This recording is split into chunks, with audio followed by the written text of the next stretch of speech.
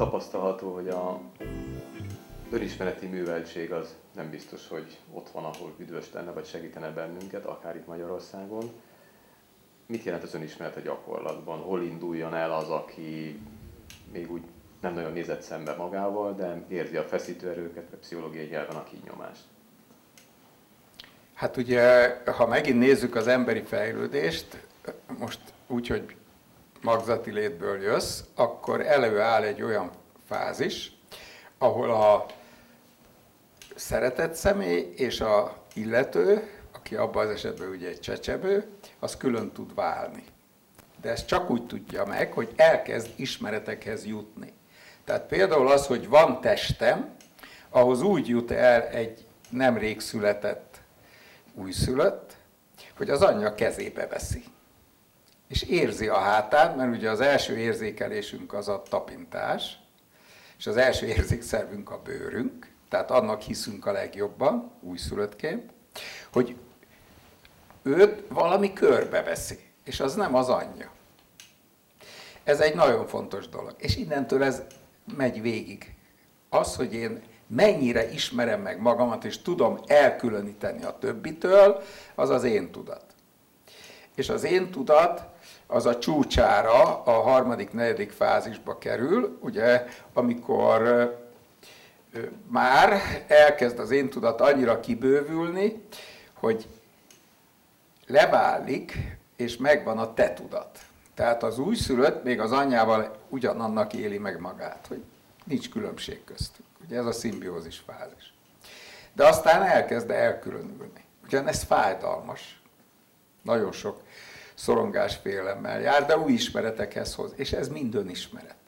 Na most az önismeretet mire vonatkoztatjuk, akkor ugye eljutunk odáig, hogy felnőttek leszünk, ellátjuk a családunkat, dolgozunk, stb. Ez egy ilyen praktikus szintje az önismeretnek. Tudom, hogyha megcsáltam a gyerekemet, kötelességem, hogy ellássam. És ha ezt nem teszem meg, akkor valami rosszat csinálok. De ha mondjuk valaki eljut odáig, hogy megéli a szülőnek azt a belső érzését, hogy én szülő vagyok, és ő tőlem függ, és ez az én felelősségem, és hogy vagyok én ezzel, és ahogy én voltam, amikor ebbe a fázisban voltam, hogy voltam, és most én mi, miért akarom ezt másképp csinálni, ez már egy magasabb önismereti szint. És ha eljutok odáig, hogy például egy munkahelyen hogy haladjak tovább, és hogy mondjuk a munkámmal akarok tovább haladni, nem úgy, hogy terjesztek valakiről valótlanságot, vagy különféle praktikákkal magam alá gyűröm, akkor az is egy nagyon magas szintű önmegvalósítás már, mert lehet, hogy én jó dolgokat fogok csinálni, ahogy egyre feljebb kerülök, de ha ilyen módon érem ezt el, akkor az mindenféleképp fejlődés ellenes, és ennek már a megismerése, hogy egy társadalomban hogy vagyok, az egy aránylag magas önismeretet igényel. Most az igazi önismeretnek a csúcsa az az, amikor egy vagyok mindennel, vagyis már nem kell megkülönböztetni. Ugye ez a teljes megvilágosodás. De mindaddig, amíg eljutunk idáig, mindig valamit valamihez viszonyítunk, és az önismeret az egy motor bennem, hogy haladjak tovább, vagyis növeljem az önismeretemet, hogy még többet, még többet, még többet tudjak magamról is. Mert az igazi megismerés csak önmagamon keresztül lehet. Tehát nem azért, mert elolvasok néhány transzcendens írókönyvét, attól nem fogok transzcendálni. Transzcendálni csak akkor fogok, ha belülről elfejlődök oda, hogy transzcendáljak. És hát ez az önismeret. Hogy én azt, hogy mit hiszek magamról, mit szeretnék elérni, azt egy folyamatnak tartom, és járom ezt az utat.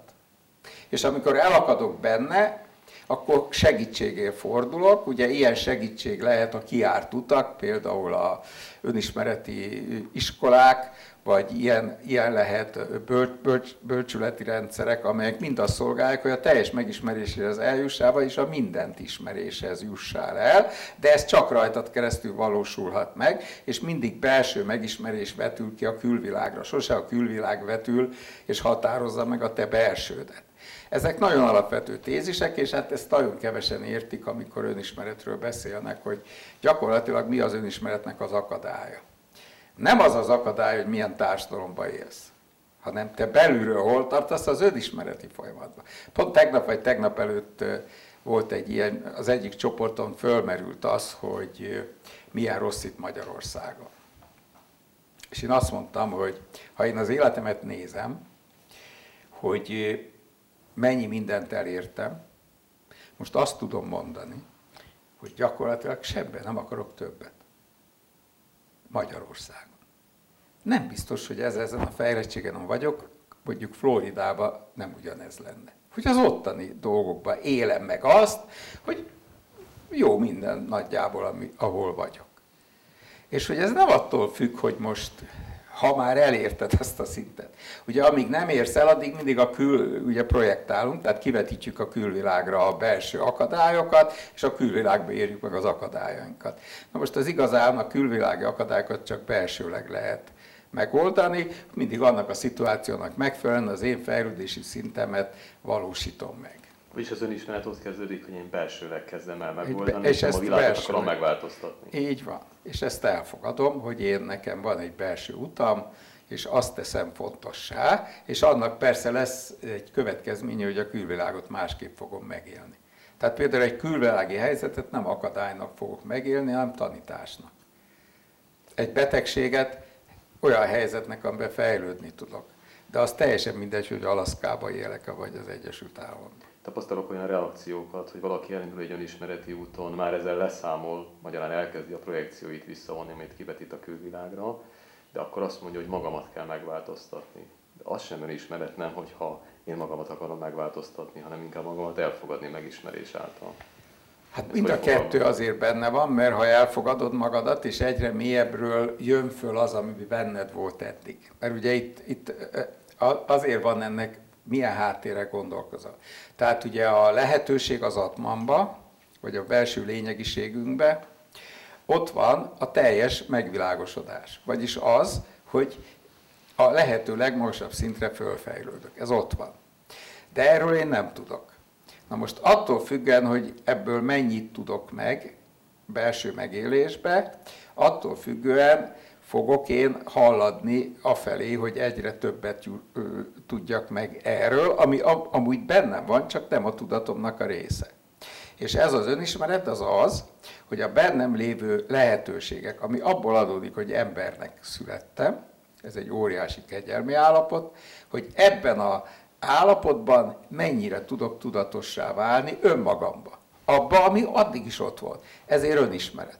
Mert ismeret, de önismeret, és csak az ön, vagyis én tud oda eljutni. És ez már maga hozza a változást. Ez maga hozza a változást. Így van, csak ugye ez mindig ahova eljutsz, onnan látod a világot. Hát erre rengeteg történelmi példát lehet mondani, hogy addig mit hittek a világról, amíg mondjuk Kolumbusz nem ment el, és nem fedezte fel Amerikát, vagy mit hittek a mágnesről, vagy tehát rengeteg millió példa van, hogy addig is az működött, de hogy mit hiszünk róla, abba változtunk. És ez magunkra is így, így vonatkozik. Ugye a, hát ez most már egyre inkább befut azokban a dolgokban, amik körülvesznek bennünket. És akkor az önismeretet nyitnám olyan irányba, hogy a lehetőségeink azért nagyon tágak. Tehát ugye most például a pszichoterápia belefutott a, a mindfulnessbe, amiben semmi újdonság nincs, sok ezer éve használják keleten, minden részét, de eljutott odáig, hogy a mindsight, ami nincs benne az angol szótárban, tehát ez egy műszó, a szerző hozta létre az igel, nem tudom, hogy zigelnek ejtik-e, vagy szigelnek, ezt nem tudom. Tehát, hogy ő hozta létre ezt a szókapcsolatot, de ez mit jelent? Ez a következőket jelenti, hogy ma már nem kérdés azon a szinten, ahol ő van. Tehát ő tanszékvezető egy amerikai egyetemen. És az egyik vezető író, aki ezekről a témákról korrektül ír tudományos lapokon. Egy. Szinapszisok bármikor létre tudnak jönni. Nincs életkorhoz kötve. Az, hogy két neuron összekapcsolódjon, az bármikor megtörténhet. Kettő.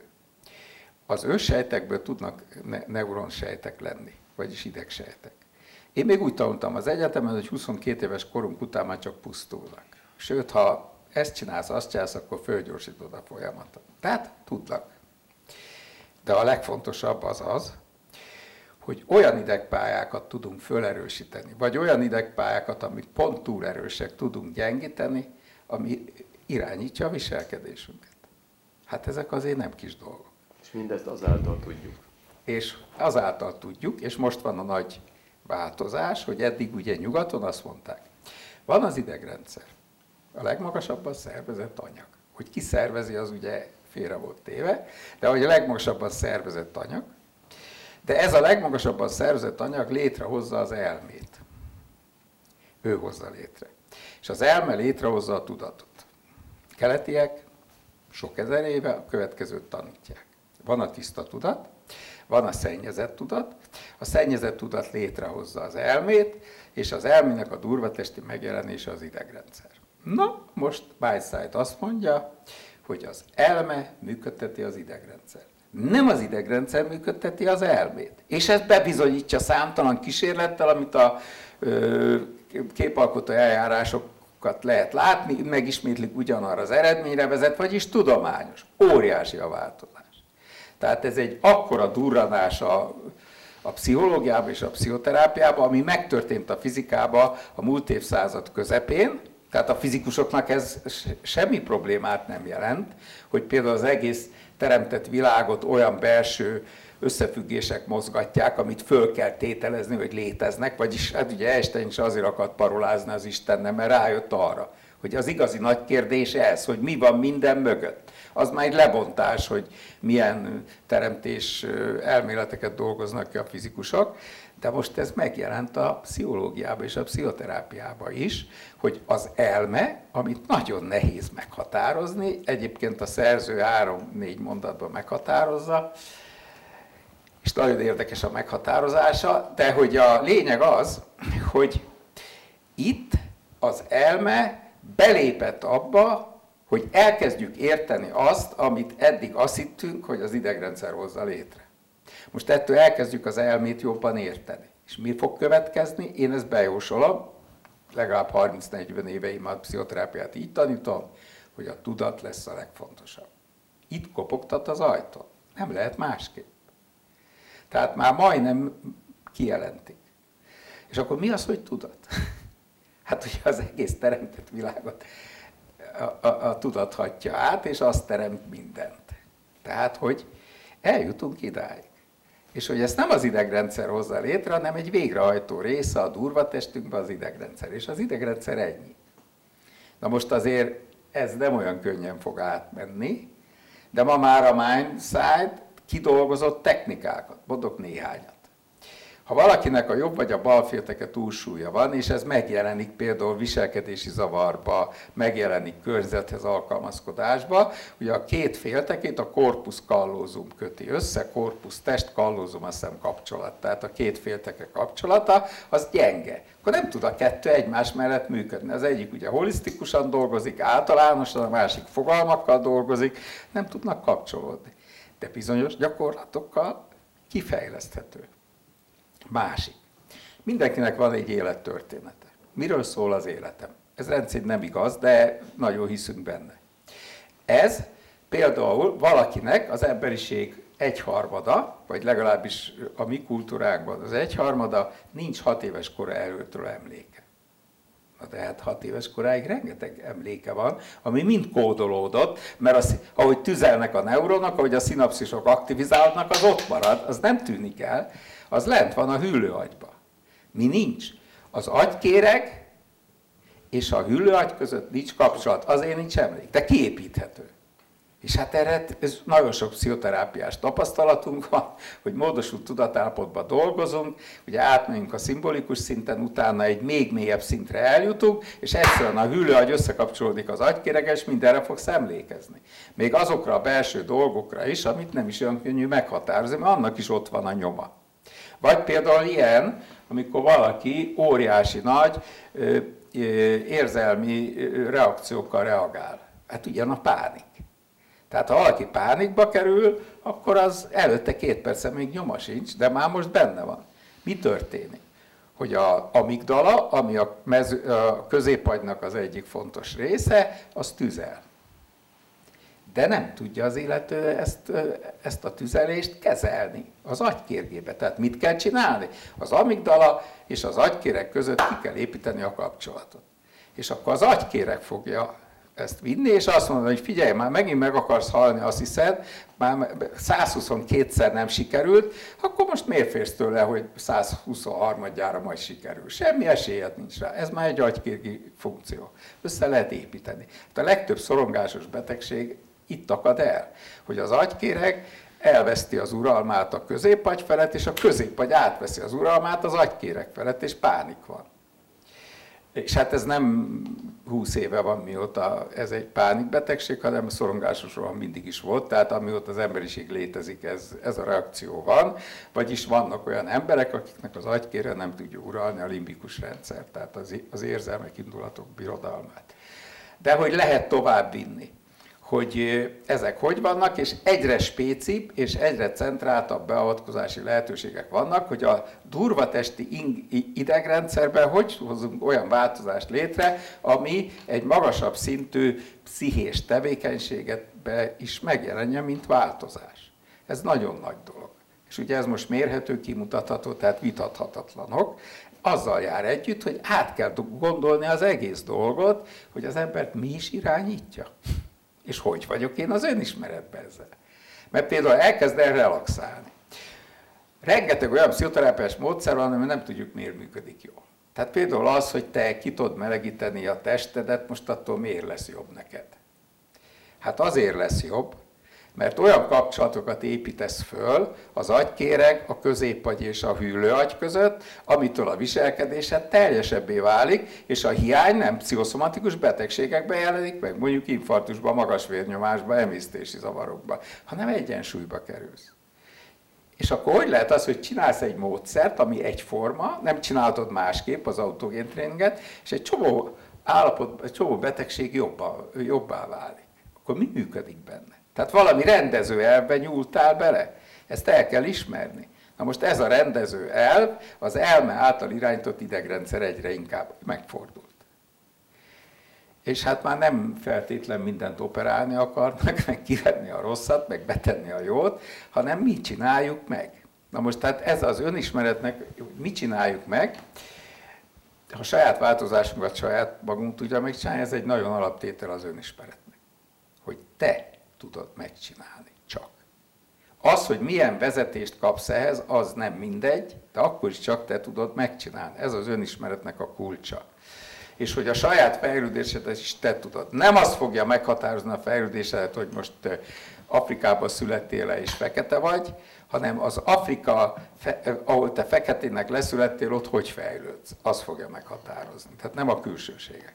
És az önismeretnek itt van egy óriási lehetősége, hogy képes vagyok arra, hogy a saját szintemet megemeljem. És ez erről szól. Mit látsz, hogy milyen determinált tényezői vannak annak, hogy csak ugye én tudok változtatni, hogy én elkezdjek változtatni. Ugye a kinyomás, vagy a szenvedés kézenfekvő, lehet mondani a belátás, hogy látod ezt, hogy milyen lehet? Hát ugye a szenvedés erre van kitalálva, amennyiben ez kitalált, hogy kényszerítsen arra, hogy fejlődjél. Hát ezért szoktam én azt mondani, hogy kétféleképp lehet szenvedni, szenvedve szenvedni, vagy szenvedve fejlődni. A harmadik lehetőség nincs. És hogy ebben mennyire vagyok tudatos, hát ez meg az önismeretemnek az eredménye, hogy hol tartok ebbe a fejlődésbe. És akkor ehhez milyen módszereket használok, és hát most egyre több jó módszer van. Tehát, de az a baj ezzel, tehát az önismeretnek van egy hibája, hogy ahol tartasz a fejlődésben, onnan ítélsz meg mindent és ezt nem tudod megváltoztatni.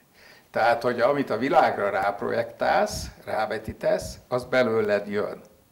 Tehát az önismeretnek a, a, tehát a saját magadon végzett fejlődésnek a saját magad szintje az akadálya. És ebből nagyon egyszerű igazságok jönnek le. Hogyha te külső segítséget veszel igénybe, annak a külső segítségnek legalábbis abba a segítés formában, ahol te igénybe veszed, egy fejlettebb szinten lévő tud csak segíteni neked, hogy te fejlődjél. Egy alattad lévő nem tud. Tehát az nem megy. És hát ugye ez például itt a magyar valóságban, ebben a rengeteg átverésben, hát ezt kristálytisztán lehet látni, hogy egyszerűen olyan hirdetéseket, tehát trükkökkel, pszichológiai trükkökkel tévesztik meg az embereket és viszik, mert ezeknek az embereknek a fejlettség azon szinten van, hogy ezt elhiszik. Tehát ha ő el van mágikusan akadva, akkor a csodatevőbe fog hinni, és jár a csodatevőhöz. Sajnos a csodatevő is mágikus szinten el van akadva, csak lehet, hogy egy kicsit bonyolultabban csinálja, vagy jobb a hírverése, és akkor ezek egymást erősítik. Mi lesz a következmény? Egy olyan közösséget fognak alkotni, ahol ezek a közösségi szabályok lesznek. Tehát a mi tudatuk egy ilyen patológiás alapra fog épülni, ami törvényszerű patológia. És egyik sem fejlődik. És egyik sem fejlődik, hanem igen, igen. És hát ugye ezt föl kell ismerni, és lehetőleg olyanhoz kell menni, és itt jön be, nagyon fontos ez a fogalom, hogy mennyi a hitelesség. Tehát a hitelesség, ha én valami fele akarok fejlődni, annak hitelesebbnek kell lenni nálam. Tehát közelebb kell lenni a darmához, vagyis az igazsághoz. És ha az nincs közelebb, akkor nem lesz. Most pontosan a darmához vezető úton, vagy a tudat ezen az úton nyilván a lépcsőfokok itt is fontosak, hogy egymás után következhetnek, csak belefejlődhetnek. Hát mert egyébként nem jársz, hanem lezuhansz. Tehát amikor elmentek az Ameriká, amerikaiak, hogy demokráciát csináljanak, most tök mindegy, hogy Vietnámot mondott, vagy Iránt, vagy Irakot, bocsánat, Irán majd csak hátra van, Irán, Irán, Irakot, akkor hát ők egy demokráciát vittek oda, jó szándékkal. A jó szándék mögött nyilván hatalmi struktúra is van, de ez, tehát nem tudják fogadni. Most beszéltél itt korábban a mindfulnessről, annak módszereiről, megközelítéséről, és volt egy mondatod, hogy hát igen, ez nem egy, nincs új nap alatt, vagy nem egy új igen. találmány, keleten ez már régen, régen van. A technikája. A technikája, ezt hogy tudjuk beazonosítani? De viszont azt mellette kell látni, hogy amit meg a személyiségről tudunk, az a nyugaton sokkal fejlettebb és magasabb. Tehát ez a technika most belejött egy fejlettebb szintbe, és így termékenyült meg. A lépései, hogy létrehozd azt a tudatállapotot, amikor tudsz magadon dolgozni, abban nincs különbség. Az, hogy mi felé szeretnél változni, miután egyre többet tudunk a világról, arról is, hogy mi hol tartunk ebbe, ezért nagyon hatékonyá tud válni. Tehát ezért nagyon fontos, amit az előbb mondtam, hogy aki segít abba, hogy változzál, vagyis az önismeretet vidd magadon végig, de ebben segítséget kapsz, annak hol tart a fejlődése. Ez, ez egy nagyon fontos dolog ebbe. A mindfulness, amit a fizika forradalma hozott, ez megvalósult az önismeretben végül Igen. is, hogy amit a nyugat elért, meg a kelet elért, ez most ötvöződik. Az most ötvöződik. És az technikailag volt jelen például a spirituális praxisban Igen. keleten. Na most honnan ismerhetjük föl, mert ugye ez is piaccá vált, vagy kezd el válni nagyon hamar, hogy mi a valódi mindfulness és mi nem. Hát ugye a, a folyamat az úgy nézett ki, hogy az amerikai, angliai kultúrkörben egy nagyon eredményes dolog, ami a kognitív terápiából indult, és eljutott idáig, az ott hatékony. Ezt átfolytották magyarra, többnyire valamennyire használható módon, és elkezdték itt csinálni, meg hirdetni. Na most hát óriás a kulturális különbség. Tehát azok a gyakorlatok, hogy te hogy építsd ki az éberséget magadba, az Amerikában másképp valósul meg, mint itt. Tehát meg kell találni a mindfulnessnek az itteni kultúrához való kapcsolhatóságát ezeknek a gyakorlatoknak. Tehát egy az egybe átfordítani és magyarul leírni, az nem hozzá a hatékonyságot. A másik dolog az az, hogy a tudatnak a fontossága ezekben a mindfulness könyvekben nincs kiemelve. Lehet, hogy többet tudnak róla, de leírni pont az eladhatóság miatt nem írják bele. Ez egy nagyon nagy hiba. És valószínűleg így is tanítják, nem tudom, én a tanításban nem vagyok benne, hogy ez Magyarországon hogy zajlik, én nem így tanítom, az biztos. Tehát, hogy a tudatnak a fontossága, az sok ezer éve ismert keleten. Azt nem vették át még. Oda eljutottunk, hogy a elme fontosabb, mint az idegrendszer. És az elme irányítja az idegrendszert, és nem fordítva. Eddig eljutottunk. Tehát ez egy jó szint. Még ez a tudatnak a fontossága hátra van. Na most, ha ezt akarjuk használni egyénileg, akkor az nagyon fontos, hogy én mit hiszek erről, tehát hogy mi a világnézetem, hol tartok, és azon belül mit tudok megvalósítani. Mert nagyon behatárolódik. Tehát ha én tíz embert kezelek mindfulness technikával, az tízféleképp kéne használni. És tízféleképp kéne őket vezetni az útjukon. Na most ezt ki tudja megcsinálni, aki ezt megcsinálta magán. Aki nem csinálta még meg magán, hanem azért, mert tud angolul elolvasta, az nem fogja tudni megcsinálni.